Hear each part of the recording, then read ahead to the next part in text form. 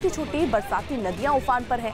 इन तस्वीरों को देखकर अंदाज़ा लगाया जा सकता है कि वहाँ रहने वाले जो लोग हैं, वो कितनी मुश्किलों का सामना करना पड़ रहा होगा उनको।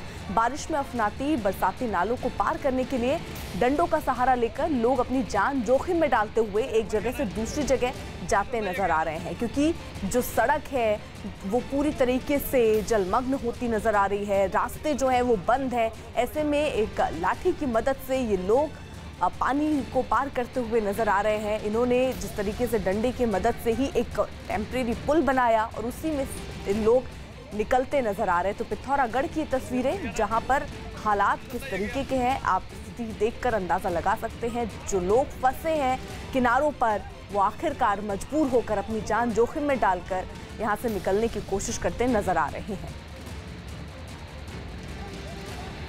तो उत्तराखंड के पिथौरागढ़ की ये तस्वीरें, किस तरीके से जो नदियाँ हैं वो उफान पर हैं, जिसके चलते लोगों को काफ़ी दिक्कतों का सामना करना पड़ रहा है।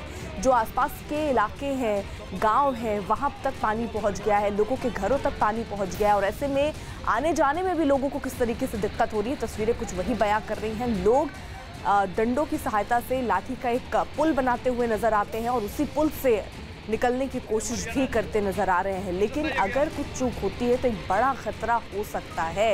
लेकिन मजबूरी इन्हें इस तरीके का जोखिम उठाने के लिए मजबूर कर रही है।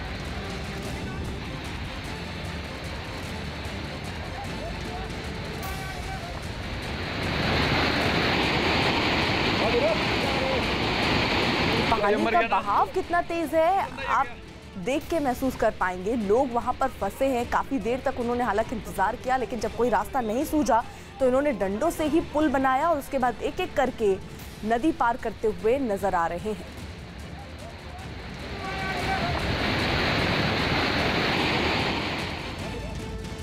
वहीं पश्चिम बंगाल के जलपाईगुड़ी में तिस्ता नदी उफान पर है। नदी का पानी गाँवों में घुस चुका है, जिससे लोगों के गाँवों को काफ़ी परेशानियों का सामना करना पड़ रहा है।